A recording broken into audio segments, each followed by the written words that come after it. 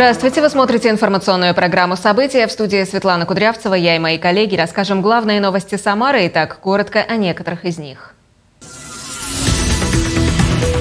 В Самаре прошел общегородской субботник. С начала месяца в уборке города приняли участие более 270 тысяч жителей.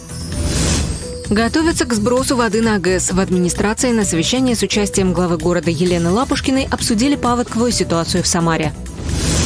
В областной столице стартовали садово-дачные автобусные перевозки. В этом году организовано 30 маршрутов, на один больше, чем в прошлом году.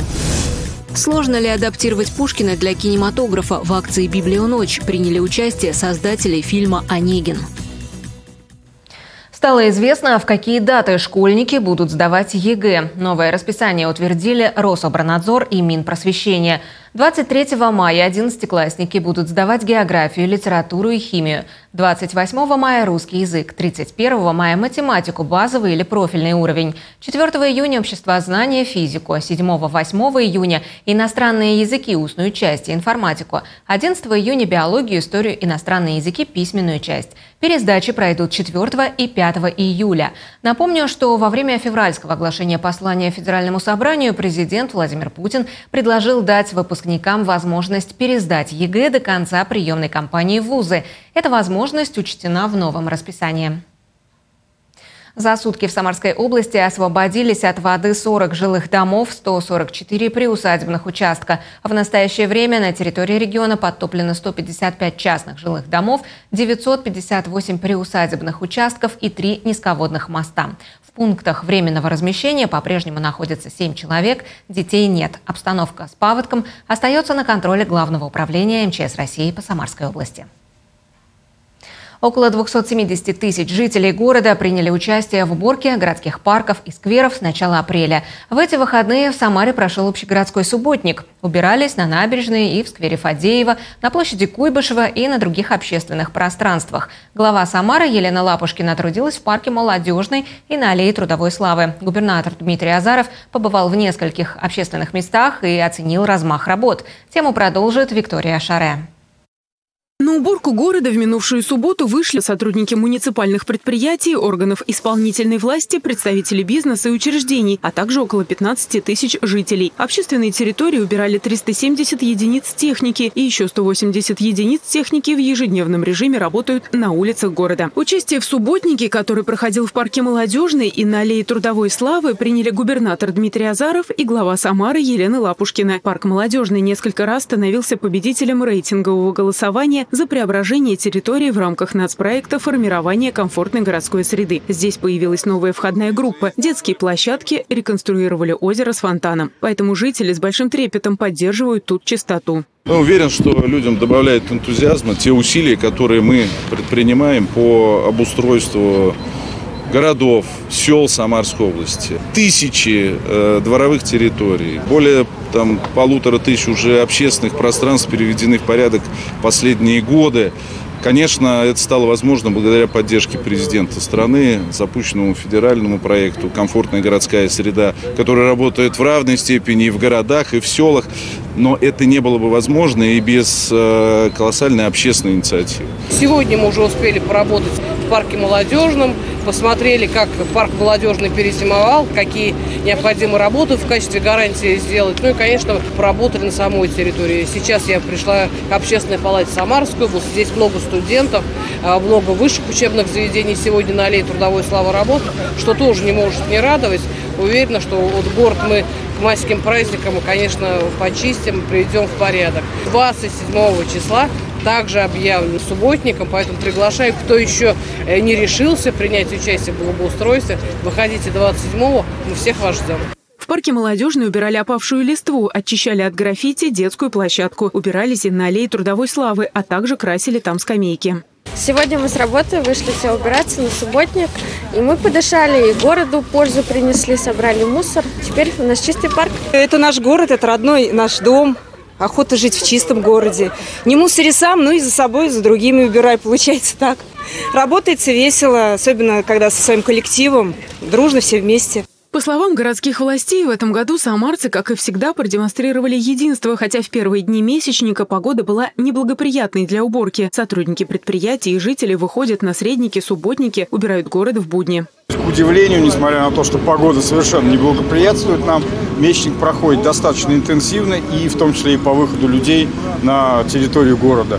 На сегодняшний день в Самаре полностью приведены в порядок сквер Фадеева, парк Молодежный, аллея Трудовой Славы, площадь Куйбышева, набережная. По предварительным подсчетам, с начала месячника по благоустройству на уборку города уже вышли около 270 тысяч человек. До конца апреля число участников может достигнуть 390 тысяч. Уборка города продолжается. На этой неделе городские службы благоустройства планируют начать высадку цветов. Виктория Шара и Константин Головин. События.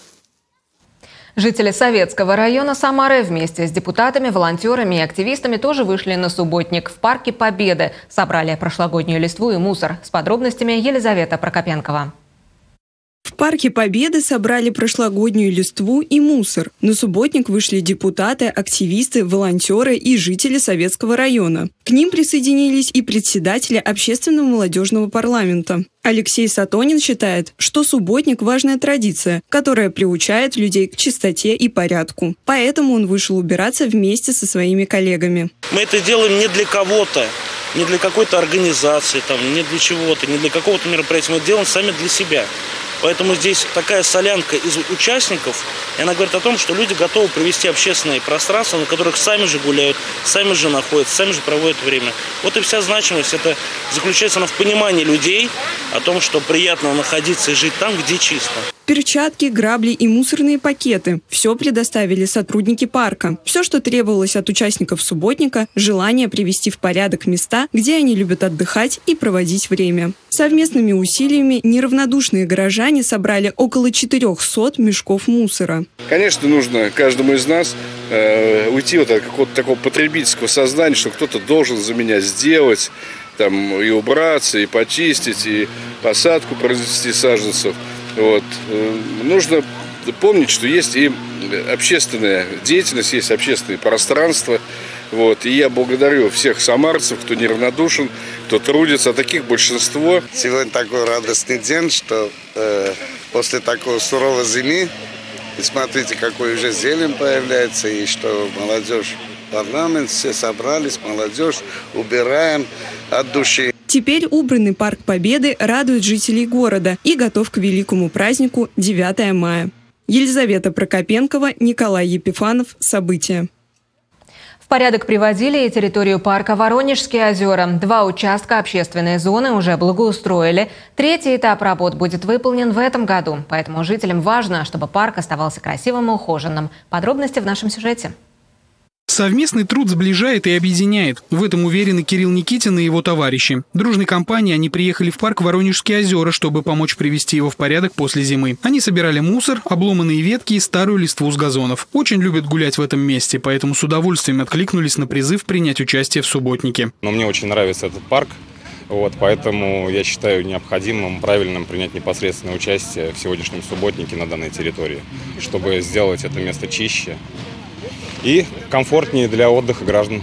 Около ста неравнодушных людей вышли в парк субботним утром. Их снабдили необходимым инструментом, мешками и перчатками. Все они хотят, чтобы парк как можно раньше пришел в себя после зимы, и можно было вновь наслаждаться прогулками в нем. А насладиться есть чем. Два участка парка благоустроили в рамках нацпроекта «Жилье и городская среда».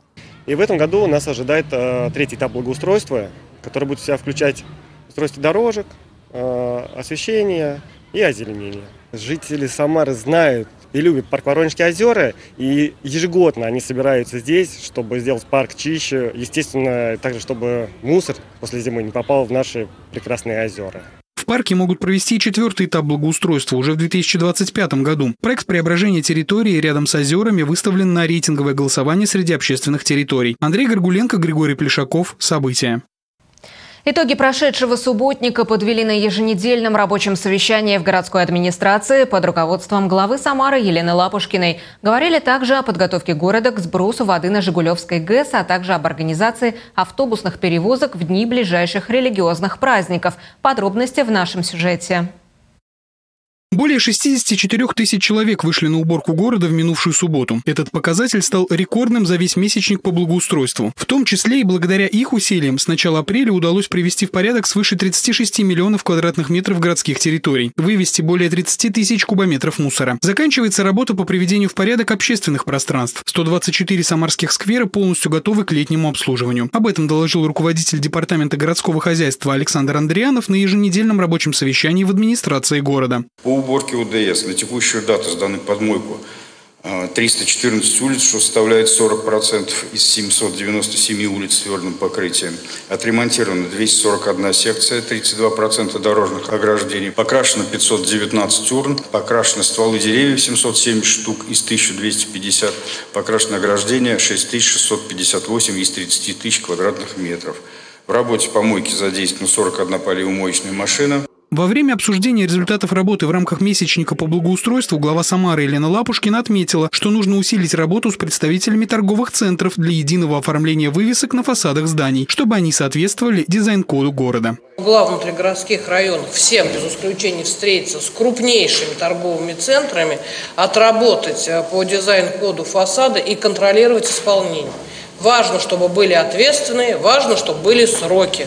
Еще одним важным вопросом стала подготовка профильных служб к сбросу воды через гидроузел Жигулевской ГЭС. В течение последних восьми лет уровень воды не превышал отметки в 32 метра 33 сантиметра по Балтийской системе высот. Неблагоприятным показателем является превышение отметки в 33 метра. Пока период паводка в городе проходит в плановом режиме. Глава города поручила в круглосуточном режиме следить за уровнем воды и постоянно быть на связи с ответственными службами, чтобы оперативно предупреждать жителей, находящихся в возможных зонах подтопления. Мы к этой ситуации должны быть готовы. Люди должны быть готовы, у них должны быть документы, деньги, ПВР должны быть развернуты, материальные запасы. И не просто сфотографированы, они должны быть в наличии, чтобы мы могли уже ими пользоваться моментально. Также на совещании обсудили организацию перевозок граждан в период религиозных праздников кладбищам. Будут задействованы 8 маршрутов. Они будут работать 5 мая на Пасху, 9 мая в День Победы, 12 мая на Красную Горку, 14 мая на Радоницу и 22 июня в Троицкую родительскую субботу с 7 утра до 16 часов 30 минут. Стоимость проезда будет, как и в обычном муниципальном транспорте, с учетом действующих льгот. При этом садово-дачные перевозки в эти дни осуществляться не будут, а вот на других городских маршрутах изменений в расписании не будет будет. Андрей Горгуленко, Николай Епифанов. События.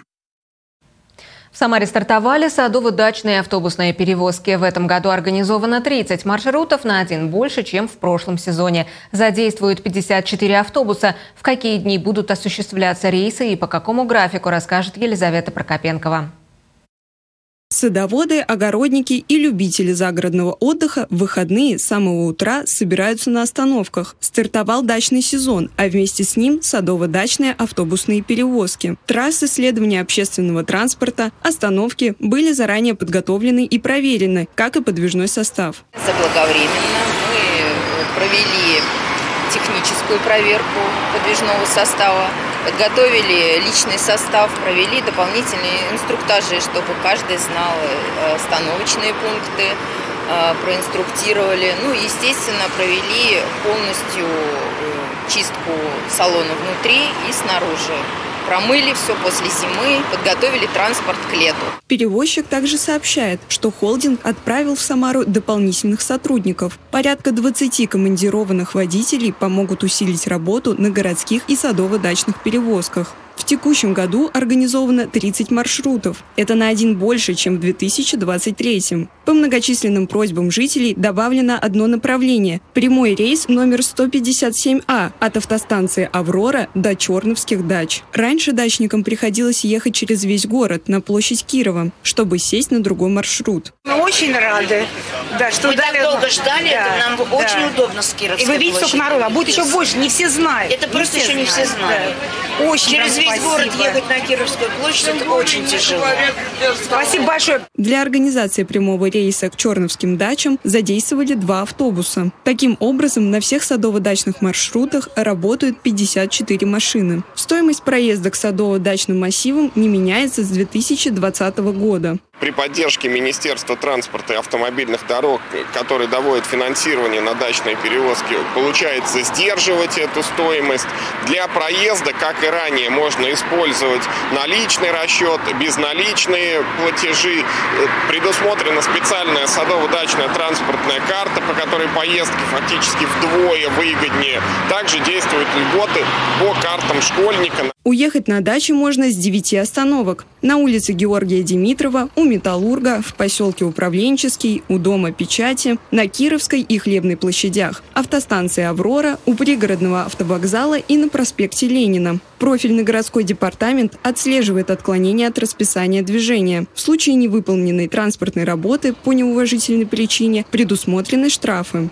В этом месяце автобусы будут ходить по субботам и воскресеньям. При этом 27 апреля садово-дачные маршруты не будут работать. А 28, 29 и 30 апреля горожане смогут воспользоваться услугами перевозок. Начиная с мая автобусы будут ходить 4 раза в неделю – в среду, пятницу, субботу и воскресенье. В дни религиозных праздников, когда будут совершаться перевозки на кладбище, дачные маршруты работать не будут. Елизавета Прокопенкова, Николай Епифанов. События. Новая муниципальная ярмарка открылась в Самаре на пересечении Революционной и Карла Маркса. Она будет работать круглый год. На ней предусмотрен стенд с товарами по социальным ценам. Новую торговую точку оценила глава Самары Елена Лапушкина. Подробности далее. Товары самарских производителей по доступным ценам рядом с домом. Новая муниципальная ярмарка открылась в Самаре на пересечении Революционной и Карла Маркса. Она будет работать круглый год. Этот район активно застраивается, и потребность в такой торговой площадке возникла давно. На ярмарке можно приобрести любые продукты от мяса до фруктов. Крытые торговые ряды, удобная парковка. На открытии новой торговой площадки побывала глава Самары Елена Лапушкина. Ежедневно здесь будут продавать товары по социальным ценам. Преимущество продукции самарских сельхозпроизводителей производителей. Это очень долгожданное событие для нашего района, для этого микрорайона. Здесь очень много жилых домов, новых домов. Мы не единожды получали обращения от граждан, выступали жители наши с инициативой, что подобные объекты появились, ярмарка, да, и поэтому это сегодня для нас праздник. Удобное, комфортное, тут и места для парковки есть, и дальнейшее развитие ярмарки есть, а самое главное – доступные цены. Ярмарка на пересечении Революционной и Карла Маркса рассчитана на 50 торговых мест. Оператор МП ярмарки Самары. Жителей цены на товары на новой торговой площадке порадовали. Мясо купили. Очень хорошие цены. Ну, очень хорошо все сделали. Будет замечательно, если проработает этот торговый ряд. Да, впечатления положительные. Э, такие мероприятия на самом деле здесь нужно проводить гораздо чаще. Э, только положительные эмоции вызывают. Нам очень все нравится. Такие э, ярмарки нужны, я считаю очень удобно, когда в одном месте находится все и сразу. Сейчас в Самаре работают 23 ярмарки. Часть из них сезонные, остальные круглогодичные. В ближайшее время в городе появится еще три муниципальных ярмарки по адресу улица Мира 6 в мае и две в начале лета на пересечении Ташкентской и Старозагора, а также на перекрестке Московского шоссе и Нововокзальной. Там уже сделано благоустройство. Скоро начнут устанавливать торговые павильоны. Формат ярмарок э, подтвердил свою значимость и нужность как для жителей города, так и для гостей э, Самары. А если 4 года назад у нас было 6 круглогодичных ярмарок, то в этом году их насчитывается уже больше 20.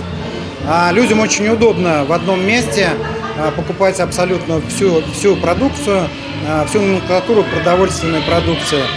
Кроме того, продукция вся на наших ярмарках муниципальных проверяется, находится на постоянной основе ветеринарный врач, и каждое утро все предприниматели, вся организация проверяют ту продукцию, которая реализуется на ярмарочном пространстве. Сейчас заезд на парковку ярмарки расположен со стороны революционной. В планах сделать еще один со стороны Московского шоссе с парковкой, детской площадкой и зоной отдыха. Виктория Шарая, Константин Головин. События. Они добровольно сдают свою кровь, чтобы спасти жизни других людей. В минувшую субботу в России отметили Национальный день донора. К этой акции присоединились и депутаты регионального парламента. Заместитель председателя Александр Милеев посетил станцию переливания крови. Подробности расскажет Ксения Баканова. Сначала сдача анализов, затем процедура. Для депутата Александра Милеева это уже не первая сдача крови. Донором стал в период пандемии коронавируса. На фоне вакцинации запасы крови начали снижаться, образовался дефицит. Поэтому и решил помочь. Достаточно необходимо, кто может прийти и частичку своей крови отдать тем людям, которым она поможет в этой жизни.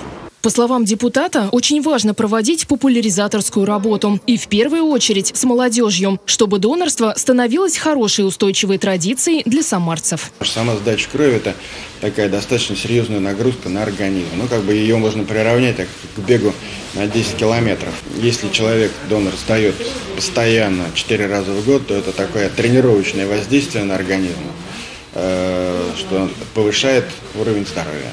Специалисты отмечают, донором может стать любой здоровый человек старше 18 лет и весом более 50 килограммов. Ксения Баканова, Григорий Плешаков. События. День, когда можно засидеться с книжкой допоздна и из читального зала не выгонят. Самарские библиотеки присоединились к традиционной акции «Библионочь». В этом году Всероссийский литературный праздник прошел уже в 13 раз. Тема акции в 2024-м «Читаем всей семьей». В Самарской публичной библиотеке главным героем вечера стал Александр Сергеевич Пушкин. Что ждало гостей вечера, расскажем в нашем сюжете. Изменить язык Пушкина под кинофильм так, чтобы проза и стиль Александра Сергеевича узнавались, а вот стиль сценариста был малоуловим. Такая задача стояла перед Алексеем Гравицким, который адаптировал роман Евгений Онегин для фильма, вышедшего на экраны в этом году. Об этом сам сценарист рассказал гостям библионочи в Самарской публичной библиотеке. Он поведал, что формат текста менялся от стихотворной формы до прозы, но задача оставалась одна – сделать произведение XIX века актуальным для современного зрителя. Задача была в том, чтобы было полное ощущение, что это пушкинский текст. Меня там должно было быть минимум. Вот, собственно, я на это и работал.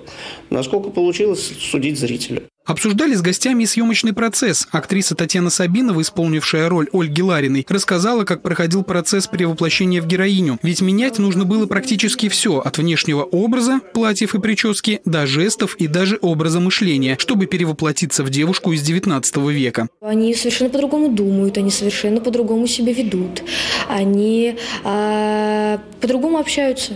Э, и вот э, как мне сегодняшний, э, современный, как вы уже сказали, быть вот Ольгой, как она говорит, как она смотрит, о чем она думает, какие платья она носит, как она ходит. Это же совершенно другой человек, это же не Таня, это не я. Вот. И это было самое сложное и самое интересное, конечно же. Пушкин, главной персоной вечера, выбран не случайно. В библиотеке уже год действует региональный центр Всероссийского музея имени Александра Сергеевича. Если тема всероссийской акции «Читаем всей семьей», то мы читаем всей семьей Пушкина. И поэтому вот, вот такая громкая премьера фильма «Онегин», а, который, я думаю, многие посмотрели, и мы решили а, собраться и обсудить, обсудить фильм, а, обсудить, э, конечно же, и само произведение Александра Сергеевича, как все удалось, как снимали, что в результате получилось, и опять-таки вернуться к нашей бессмертной классике. Также в этот день в библиотеке прошли мастер-классы в технике коллаж, экскурсии, литературно-музыкальная программа совместно с Пушкинским обществом, а также ночной квест при свете фонариков под названием АС. Андрей Горгуленко, Валерий Майоров. События. Далее вас ждет обзор телеграм-каналов городской администрации и профильных ведомств. Вот о чем они писали сегодня на своих информационных площадках. Администрация Самары в телеграм-канале «Вести с Дворянской» информирует, что в Самарской области стартовал опрос представителей бизнеса, посвященный выработке мер поддержки перспективных отечественных компаний. Его проводит агентство стратегических инициатив. По результатам будут приняты решения, которые позволят компаниям, вышедшим за формальные рамки малого и среднего предпринимательства, эффективно увеличивать бизнес, решать задачи по росту капитализации, инвестиций в прорывные технологические инновации и сглаживать рост налоговой нагрузки. Принять участие в опросе можно на сайте, указанном на экране. Администрация железнодорожного района сообщает, что борьба с теневой экономикой становится жизненно необходимой. Наиболее распространенное ее проявление – неформальная занятость, то есть работа без официального оформления трудовых отношений. Получая более высокую зарплату в конверте, люди забывают, что теряют гораздо больше. Трудовое право, в отличие от гражданского, имеет социальную направленность на защиту лиц наемного труда. Когда же работодатели заключают с работником гражданско-правовой договор, договор подряда, возмездного оказания услуг и так далее, Далее на таких работников не распространяется трудовое законодательство, соответственно, не распространяются гарантии и компенсации. Администрация Куйбышевского района информирует, что до 15 октября в нашей области установлен особый противопожарный режим. Все, что нужно знать о правилах пожарной безопасности в лесу, а также об ответственности за их нарушение в условиях особого режима, смотрите в карточках, размещенных в телеграм-канале. Там находится информация об ограничении посещения лесов, об уголовной ответственности за нарушение запрета и штрафах. На этом наш выпуск подошел к концу. Продолжайте следить за новостями на официальном сайте Самара ГИС, в нашем телеграм-канале, на страничках в Одноклассниках и ВКонтакте. Выпуски новостей смотрите на видеохостингах и в социальных сетях. Будьте здоровы, всего вам самого доброго и до встречи!